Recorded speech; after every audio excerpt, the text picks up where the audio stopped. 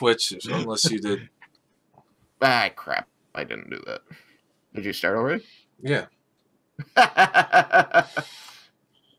just that's fine. Probably. Wait, This is the Player 4 Oh, we started. Join us each week to talk about video games, entertainment, and pop culture, and bring in guests from the Rooster Teeth community. Player 4 has entered the game.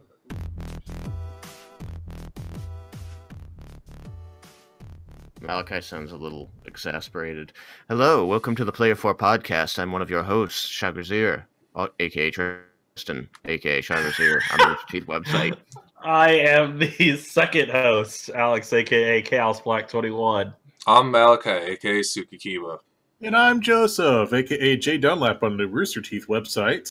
Uh, so we're we have two hosts and two guests. I'm gonna slap you, Tristan. Why? How is this? My, how is this my fault? Because I'm the one that's gonna be queuing the garbage up and you freaking mess with my mojo. Doing the garbage up. the The song is not garbage. It is a beautiful song. I know. love this song. It's my absolutely beautiful. Oh, song. Joseph But- Dunlap. Was not ready for that at all. It's just, just Well, I was told there was a cold open, and as soon as it started to like die, I was like, "All right, time to start the song." I hope everyone likes our new format. It's great. So we've got a few topics for today, and I'm reading the topics off. The... It is Malachi's meanderings. Malachi's meandering. Skyrim, poop and butt, and what we're Oh playing. God. I said it. You can't stop me. Now we have to talk about it. now we have to talk about, it, which is great because I I'm con- I'm concerned I actually have something to contribute to that segment. So, it's Wednesday. It's a little after eight thirty. Malachi on the It's East Coast 7:30. anyway. Instead of, I I qualified it. Okay, I don't need you correcting my corrections. Thank you though. Uh, Malachi, what what are you what are you going to meander about today? I think that you were you were excited about a movie you saw recently. yeah, but I first want to state that you're paying my butt again. Okay, I accept that. I'm a pain. All right, so we're already into the poop and butts, apparently. yeah, no, save it so- for the poop and All butt right, segment. right, fine. I'll say freaking other segment. I can freaking give you a slap across the back of the head. Anyways, um, so uh, I uh did happen to go uh see the Dragon Ball Z Super uh Broly movie, which uh is supposed to be canon to the actual series, which is uh, kind of cool because most of the uh, previous uh in the Dragon Ball Z series um, all the movies were not considered canon or part of the story. They were kind of like a neat little uh, story based on the world. Um, like a lot of anime. But nobody ever looked back in the episodes and said, "Hey, re- remember that time when we took out a giant tree that was going to eat the world?" Right. A, a lot of anime do that though, where they're like, "Here's a movie. By the way, it doesn't actually tie into anything." Yeah. But this is a movie. It's not canon. I'm not going to remember any of you people. Dragon Ball Z Super Broly did actually pretty well in theaters, so they actually brought it to my area, which was fantastic to see an anime in theaters for once. Um, unfortunately, I had to watch it in English. Not that that's a bad thing, but I prefer the subtitle personally, because bad guys always sound so Tell much me. better in Japanese. I'm sorry. I had watched the I had, the, the, uh, when they had a Fairy Tail movie come out, the latest Fairy Tail. I went and saw it in theaters, and it was in English, and I was a little sad because I hate you that you have a theater that has that around you. You suck. Anyways, um, so all in all, for the movie wise, uh, story really, really thin. Not really grab you at all. Um, Do you think that's just so that they can more easily slip it into the canon without requiring people to watch it? There wasn't, so there wouldn't be a lot that you missed. I, I want to say probably that wouldn't be a bad uh, kind of hypothesis with it, but last time on all of Dragon Ball Z. um, it was it was a stupid simple plot and um it, you got to see some back history of uh of you got to see planet vegeta you got to see the whole thing you got to see uh, bardock in it um, and actually Goku's mom too. Um, so you got to see a lot of cool things, a lot of interesting things, but the the premise of the actual movie itself, like I said, was really simple. Um, I don't know if I want to elaborate. doesn't have a mom. I, I don't want to elaborate too much, um, because I don't know if we want to put spoilers or Spoilers. um. Uh, And I'm So- probably not going to see it. it's really simple, but the fight scenes were pretty ridiculous. I mean, there was a lot of effort put into the animation for the fights, for the the battle between Broly, reached- Goku, and did- Vegeta. Did they reach 9,000?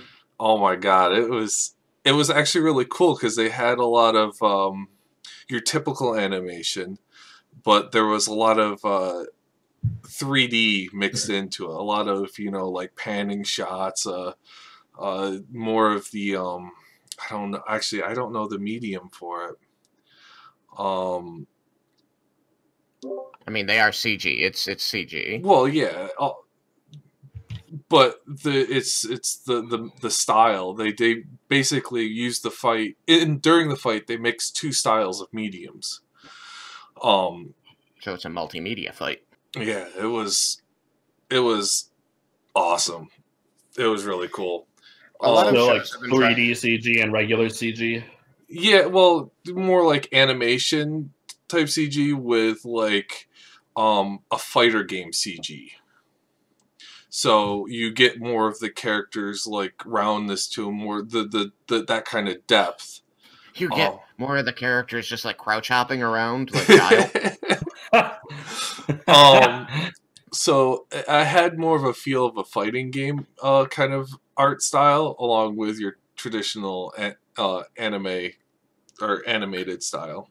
Could that be like partially attributable to the success of the um Dragon Ball Z video games where they had the you know anime video game graphics style and it and it seemed to work really well? it's possible. Um, I really can't say much about that. Uh, but yeah, So, so plot wise, you're not really recommending this film. It sounds No. like, but it sounds like the fights were pretty fun. if you just want to kick back with your friends and watch just a really cool, uh, like Dragon Ball Z style fighting, it's great. It's out. They did phenomenal with the with the fight. Um, like yeah, plot wise, it's trash. Ouch. It, it's like it's it's so simple, Tell us how you really feel. So simple. You know, Malachi, we have a we have a theater here in in Boston called the Brattle Theater that is a small theater that mostly shows off mainstream films because it's only got the one screen, and they highly advertise their showings, and they show a lot of anime movies there. Oh, this fucking suck. Excuse my language. Beep bleep. Ah, but so yeah, I got to watch that. Um, so yeah, if you want a nice uh, Dragon Ball Z movie, it's good, but don't be impressed by its story. Um, I promise. I, I like how you're telling people I will not to not be impressed. by Like, don't You you don't dare be impressed by that story. Don't you encourage them to write like this? but anyway, so that was one thing with me. Another quick tidbit that's been going on with me. I finally uh, got my butt around the schedule. It's actually a bit of a pain um, to I mean, schedule it was my. a pretty big schedule to get your butt around. Yeah, I know. Uh, for my uh, handgun safety course. what? Yeah. What indeed? Well, my dad has a lot of uh, pistols, so he wanted me, uh, well, encouraged me to get it in case I ever need to take them from him or in future, future, future, future instances, I can take I them from mean, him. Like when zombies Those- take over. that cir- not to get too far off topic here, but that circumstance is, is getting less and less likely because of all the problems with um, inheriting firearms. Oh, yeah? And yeah, because a lot of states don't ha- getting into legal stuff. A lot of states don't have the um, requirement for certain legal paperwork to be done when somebody gives their gun to a family member, especially like a father to son kind of thing, you- and this causes an undocumented transfer of a firearm and therefore illegal possession, and then things tend to occur because they can't enforce stuff because nobody suddenly knows where the gun is. No, yeah, uh, I understand that, and some things that do make it easier is probably something my dad is gonna do with me is uh, double register it. You can register it to two people, or like Mm. there, there. I, I don't know the re- the actual term, but there is a way to to register it saying, yeah, this is my my dad, and it's also registered to me, so I can take it. Eh, There, there is a. I. It was explained to me. I haven't had a chance to sit down and read about it, but I do know Yeah. there is a way. I, if I'm not mistaken, to where it's double uh, co co registered, co registered. Mm. Yeah, it's just it's a. I only bring it up because it's just a it's a tough, sensitive topic. Yeah. Um, especially at the moment. Well, the the main reason, like I said, is because I would like to be able to take care of them if ever need be, um, and also to spend time with my dad and do it because he does enjoy um, uh, pest or going to the range and uh, doing target practice with him. So it's something I can do with him. So those are the reasons why I'm getting it, and so that's moving along. It's just something that's going on with me. So, anyways, all right. And then speaking about doing stuff with other people, you guys are want to talk about the skies of Rim?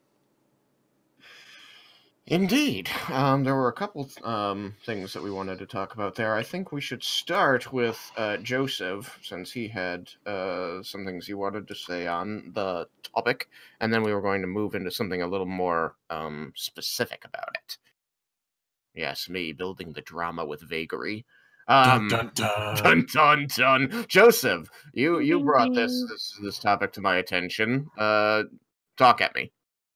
Uh, which thing? The one how I've been playing Skyrim recently? That that that one. I want to know how you're feeling because I know that you had put out some tweets saying, you know, I'm playing Skyrim. Tell me how to enjoy this game. so I want to know if it's been working. yeah, that was a genuine call for help because I was playing Skyrim and I didn't know what I was quote unquote supposed to be doing. right. And I got some good Anything. advice from like four different people. It was great. And it was overall just play the game and do whatever you feel like doing. So I tried that for about a day. I got bored. I started a new save of the first Mass Effect game for a day. Then I came back to it and I sort of got a feel for it. And it's been fine since then. Been about a month since then. And I've been playing pretty much every day. Michael's been playing with me. Michael's actually in the living room playing on the Xbox right now, and I've been working on mods on the PC today. Oh. Working Yeah, on mods. Wait, what do you mean? I've I bought the PC version this week, and I've been working on putting mods on there. Oh, like going to the market and getting them. Yes, I, So I thought it was thing- like you figured out how to make mods because I want to figure out how to make mods. that'd be amazing, but no, Right. I'm not that. You just replace all the in-game music with music you wrote. I was gonna say that would be the only mod I could do. just replace all the in-game NPCs with the pictures of your family's faces. Oh I god. could I could replace all the voice acting with clips from our table read. Oh my goodness. I just want to find walk around that game, your game at some point and find a, a bar where two guys are sitting at the table and it's Luigi and the Joker heckling each other. that sounded kind of gay, dude. Dude, that would I would I would die. That would be so funny. Uh, so I had a character, my first character I was playing on, and that was the character I made in my first sort of trial run of Skyrim. It was uh, it was Argonian, and I got Murder bored. Lizard. He's a badass. Yeah, Murder Lizard. So I came back to him, and he was Murder Lizard, and he was assassinating people. And then I had a second character, it's Wizard Kitty, that I've been playing recently. Oh. Wizard Kitty. Michael's been playing as a Nord with a great sword, and he wanted to marry Lydia, so he married Lydia.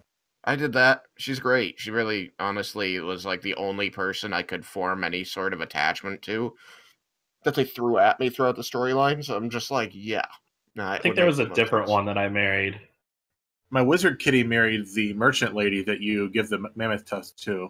Uh, I think that's who I married, and it's very odd because the house with her and Lydia's there. So it's just like, uh, These are my two wives. One of Well- them's not actually my well, wife, but she's yeah. sitting here eating my bread. my housecarl, quote unquote wife. We're just friends. You're gonna be okay there, Alex? I feel like there's some tension in the household. So I wanted to bring I wanted to bring it up. Sorry, Alex, about the tension in your household because in the early days of our podcast, that was something Tristan liked talking about was the Elder Scrolls franchise. I remember a friend of mine came on and you guys talked about Skyrim and the next game and and the online And the game. before that. Yeah, yeah. and I didn't I didn't have a frame of reference like Malachi and Red versus Blue in the early days of the podcast. So so now that I'm actually playing it, I wanted to you know bring it up. Tristan, we we have common ground finally. Hi. Have you um have you gotten into reading any of the books you're walking by, or is that still just like they still just Uh, background pieces? Murder Lizard collects every book he can find. He has resorted to stealing them. and I have read some of them. I read the book that was claiming that Ulfric Stormcloak is a murderer. Yep. I've read a few of the history book, and otherwise I just sort of put them on my bookshelf and I'm like, I'll get around to it. Mm. What's So out idea? of, out of curiosity, since the beginning of the game presents you loosely with two sides of a conflict, have you yet chosen a side in that conflict? Murder Lizard is the save where I have chosen a side. So in that save, first I helped the Empire take over Skyrim, Okay. and then I assassinated the Emperor. yeah, I don't know how that's going to work out for you.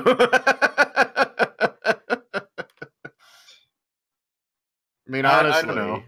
I mean, I never, like I said, I haven't. I know that the last missions for the for the um hand. Dark Brotherhood. Thank you. I always see in my mind their their symbol, and I'm just like, yeah, hand has to be in their name because their symbol is a big hand. It's not. Uh, dark Bro- Dead hand. Um, I haven't. I never went all the way through the Dark Brotherhood storyline. It's too bad because I know that the last mission is actually pretty like awesome and like really like I've seen images from it where it's just like a, a totally um you know outside the game bounds area that you're that you perform the final mission in um which was kind of cool to me uh, and the idea that you are making potentially such a huge impact moving forward um i do find it very intriguing that as somebody who fought for the empire uh against the stormcloaks uh you you then chose to also murder the emperor Well, the funny thing was, I got the quest to kill the Emperor, and I was like, huh. But I just joined the Empire, so I think I'm going to take care of that first. I'm gonna push their objectives and then kill their leader to watch their whole society crumble. I mean, it actually didn't do anything to the stability of Skyrim. It was Nah, just it was just a story beat. Like you Yeah. show up, the Emperor's there, you kill him, and then you get a 40 gold bounty, and then you leave. forty gold for killing. I know, it was weird. There's no witnesses, and also why 40? I don't know. I mean, that's especially odd. Like, okay, so here's the thing: the entire plot of the previous game, which is The Elder Scrolls IV: Oblivion, was based around the idea that the whole world comes apart when someone assassinates the Emperor. Like, it just falls apart. Now, you have the benefit of, at this point, he was the last in his line, and there's a very long and sordid history of the power and influence of that line on the entire world. Um, and you know, go when you start Skyrim that it's 200 years after that moment, and they've been going through a real rough patch ever since he died. Um, and so this new emperor, like if you read the stuff, you find out well, nobody. There's a whole divi- like Skyrim, who has always been super allied with the Empire, is really uneasy now because the late the you know this Emperor isn't uniting all of Tamriel like the last set of emperors were doing, and in fact, like rolled over and gave the world to the elves when they decided they didn't like humans anymore. Um, and so Skyrim's like that's why Skyrim's divided between the Stormcloaks and the Empire at this point because a lot of them are still really loyal to the Empire, but they feel betrayed by it at the same time. Um, and and so like and there's books and books and pages and pages and hours of this content within the game that you can find and learn about. Um, if you haven't played the previous games to know about it. Um, and that's why it's it's an interesting choice because like so the uh, the final mission in you know spoiler alert final mission in the dark brotherhood is you kill the current emperor but this could be a good thing because the current emperor by de- is deemed by almost everyone in the world to be weak and not leading um the empire of Tamriel in the direction it should be going anyway and and and having chosen to you know give everything up to the power of the Aldmeri Dominion who are generally considered to be in the wrong here.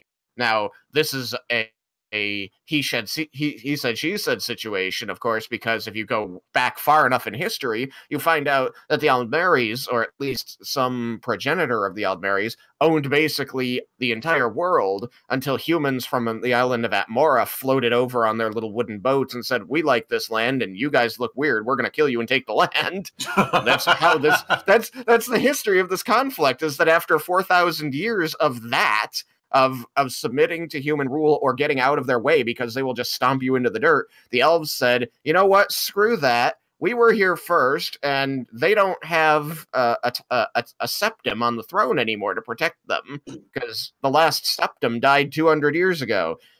Now is our chance, elves. Take back the land from the dirty humans. And it's like, well, there's a part of you that can't really blame them, and there's another part of you that says, yeah, but the Empire's been working.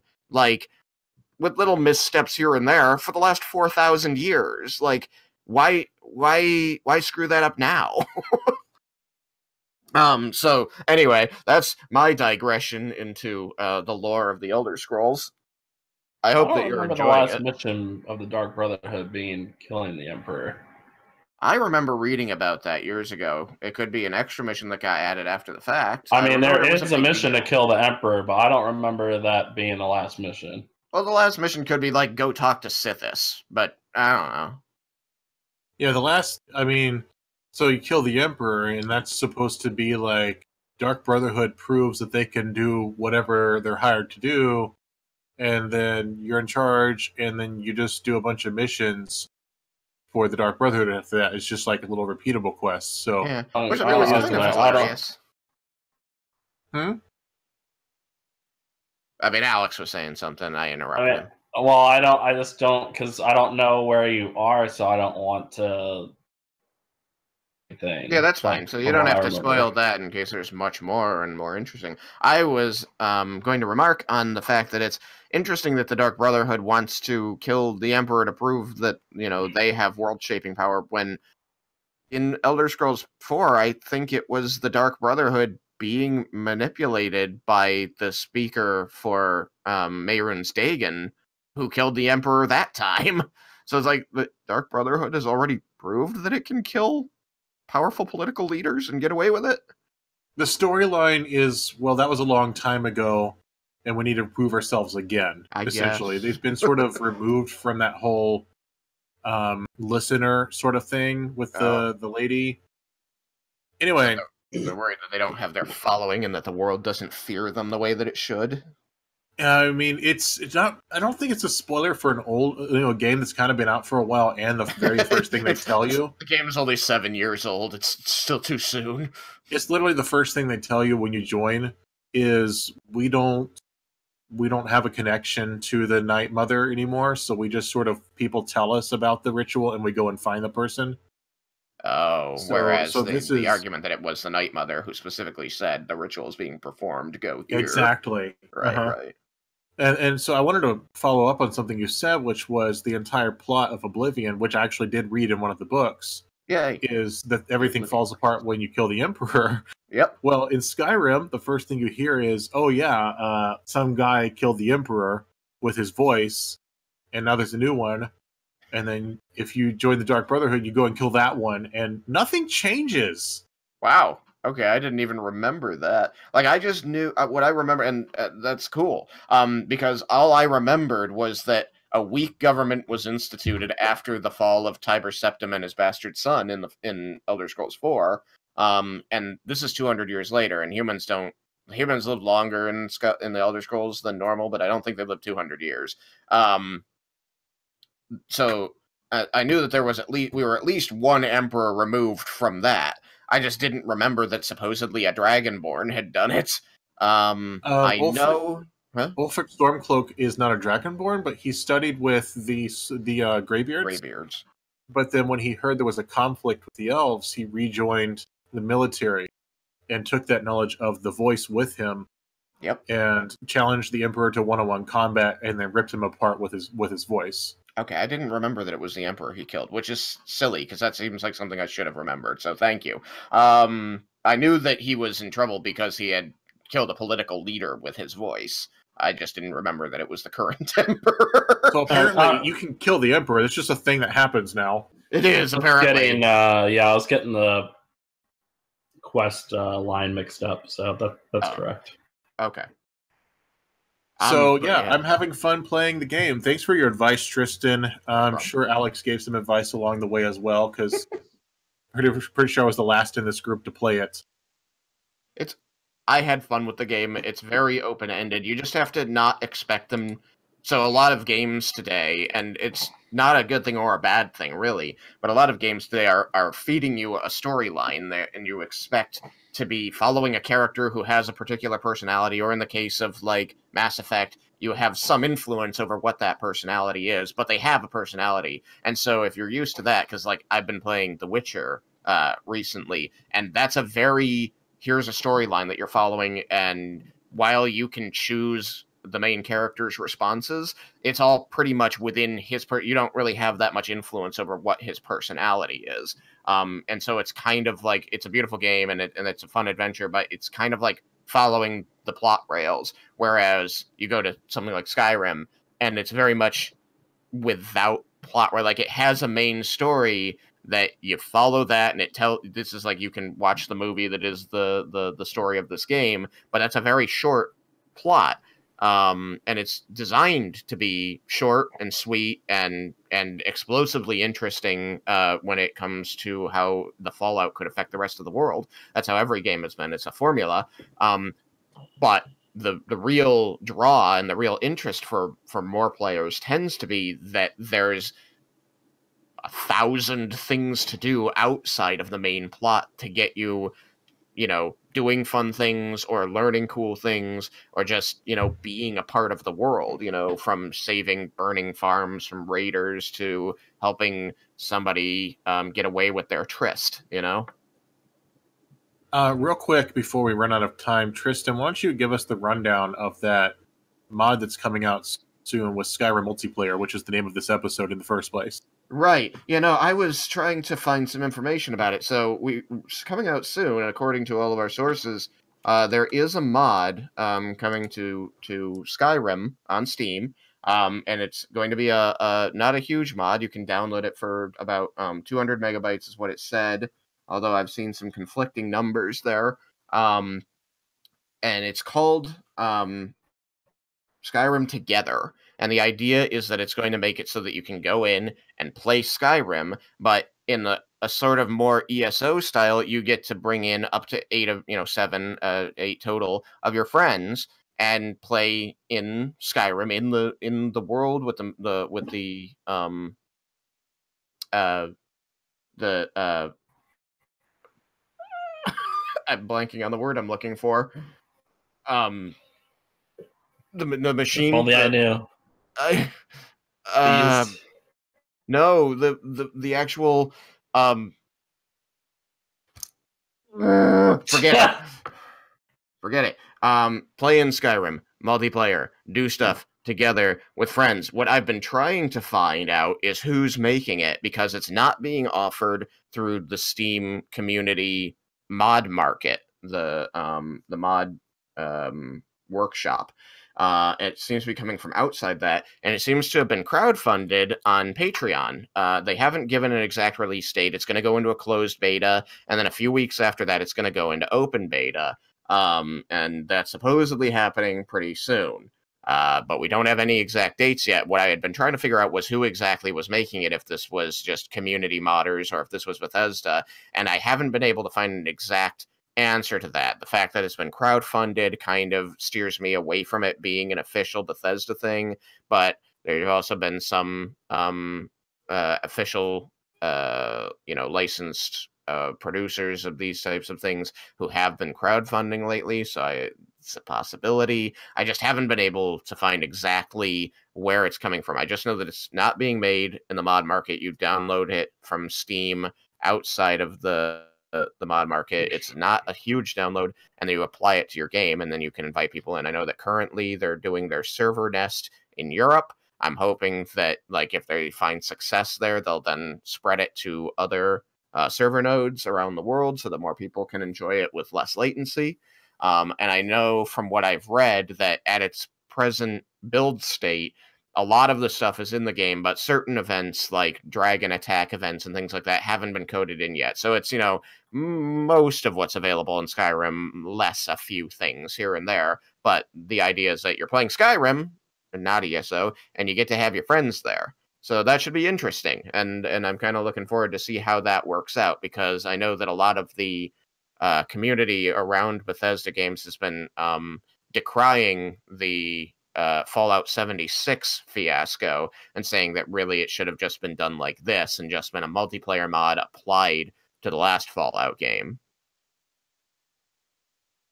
So, Was that the only complaint they had against 76? no? But I feel like that no, there's been other long. mess ups too. I, I just sort of addressed 76 as one big pile of problems. Pile of And- poop and and- I still play it. It's a bit of poop and butts. All right, guys, with it. it's that time again. Oh, but we didn't even get to poop and butts. Yeah, well, that's okay because I'd just be telling Tristan he's a fool. Yeah, I thought poop and butts was our next topic, and you didn't even put get getting the flip out of here. Yeah, whatever happened to getting the flip out of here I being an didn't official have. topic? We, we don't have time for it. We don't We're have time to trying get the flip out of here? We're just gonna stay here. We're just stuck in the podcast We forever. don't have time to get the flip out. It's the worst Oh, episode no. of Black Mirror ever. Oh, I feel like I'm in the Twilight Zone. All right, everyone. It was nice. Uh, hope you enjoyed the episode and have a wonderful night. Good night, everyone. Join us on Discord. Yay, hashtag goodbye. Bye. Good night, Caboose.